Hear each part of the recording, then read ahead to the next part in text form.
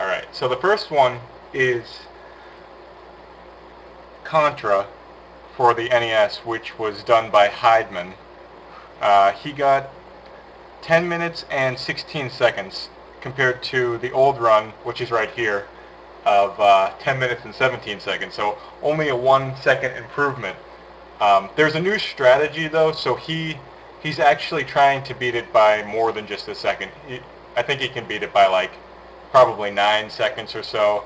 He's definitely still working on it. But here's the old run. I just wanted to show you an example of the kind of ability it takes to get a run like this. This is this is probably my favorite run on Speed Demos Archive right now. Um, but I wanted to show you an example of the button mashing involved here. Check this out.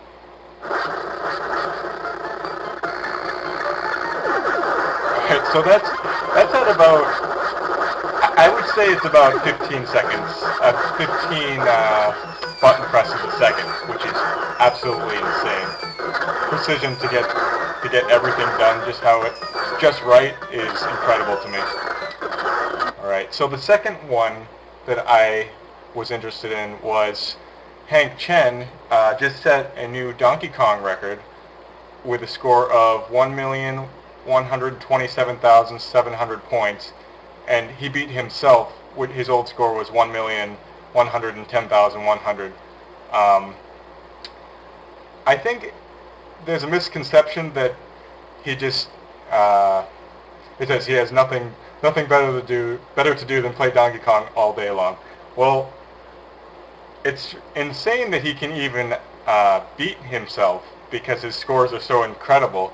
Because you you look at the scoreboards and you're like, you got, all right, so this is the current scoreboard. You got Hank and you got Billy, you got Steve Wiebe and Billy Mitchell who are like over 60,000 points below him, uh, which is just insane to me.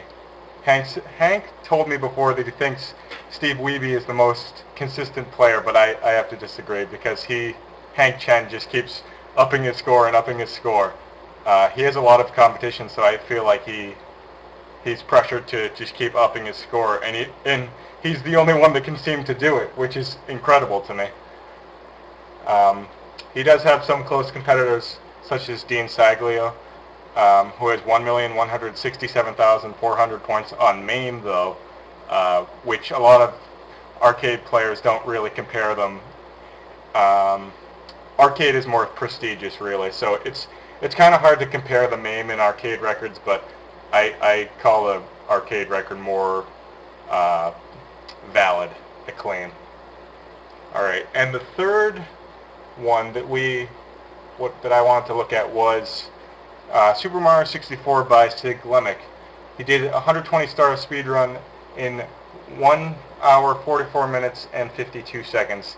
Uh, he has been playing all through August. He played July too, and even before that I think too. Um, but mostly August he's been trying to get a 144 and he finally managed it and it's actually it's an incredible run. I'm really impressed by it. It's one of the best speed runs ever. I'm, I think I can make that claim.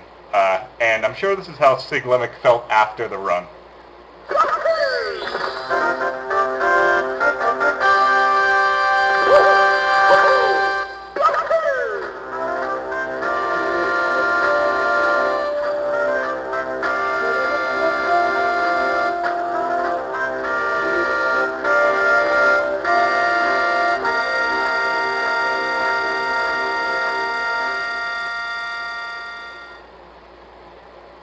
It was really a great run. All all three of those records were incredible, and they all happened within a pretty close time span of each other. And I thought I'd just share that with you because these people, some of them don't really get the credit that I think that they deserve.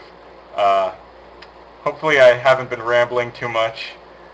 I'm not all that great at this yet, so maybe I'll improve my skills and make some cooler videos. Thanks for watching. Bye, guys.